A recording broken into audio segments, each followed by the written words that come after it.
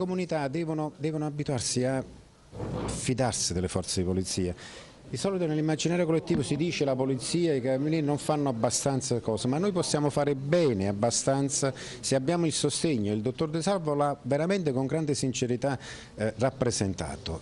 Segnalazioni, segnalate eh, presenze sospette. Questo non significa che noi arrestiamo quelle persone, però questa operazione nasce anche e soprattutto da alcune segnalazioni che ci hanno permesso con la professionalità, con l'attenzione, con l'intuito, perché poi in questo voglio dire, noi siamo particolarmente attenti, attenti ai reati predatori che eh, incidono fortemente sulla percezione di sicurezza delle comunità, delle cose e su quello siamo particolarmente d'accordo, non sottraendo spazio e risorse all'attività investigativa sui fenomeni carameristici che sono altrettanto importanti, però bisogna dare risposte anche sui reati predatori.